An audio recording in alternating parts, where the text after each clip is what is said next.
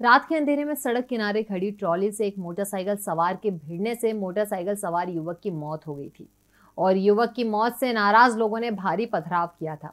इस मामले पर पुलिस की ओर से अब एक बड़ी कार्रवाई देखने को मिली है। पुलिस ने 20 के विरुद्ध शांति भंग का मामला दर्ज और 13 उपद्रवियों को गिरफ़्तार किया है।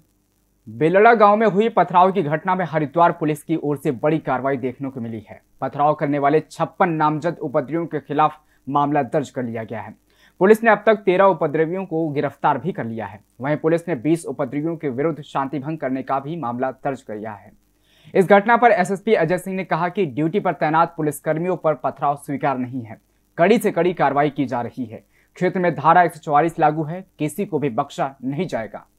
और इसमें तीन मुकदमे जो पुलिस के हैं, उसमें अभी तक तेरह लोग की गिरफ्तारी रात्रि में हो चुकी है और बीस लोग जो है प्रिवेंटिव अरेस्ट जो वहाँ बलवा कर रहे थे, उनकी प्रिवेंटिव अरेस्ट एक सौ इक्यावन में की गई तो टोटल तैंतीस लोग की गिरफ्तारी हो चुकी है। करीब साठ से सत्तर लोग इसमें नामजद अलग अलग मुकदमों में इसके लिए टीम लगाई गई है। बाकी शांति व्यवस्था बनी हुई है। मौके पर मजिस्ट्रेट और एसपी के निगरानी में जो है वहाँ पर पुलिस फोर्स नियुक्त किया गया है। धारा एक सौ चौवालीस लागू है तो सभी पे लागू है कि पाँच लोग से ज़्यादा जमावड़ा ना हो। वो खबरें जो आपके काम की है। वो खबरें जो आपके लिए ज़रूरी है। हर आम और खास से जुड़े मसले। हर मसले का सटीक विश्लेषण। हम करते हैं सत्य का अन्वेषण। दखल न्यूज़। आपके हक में।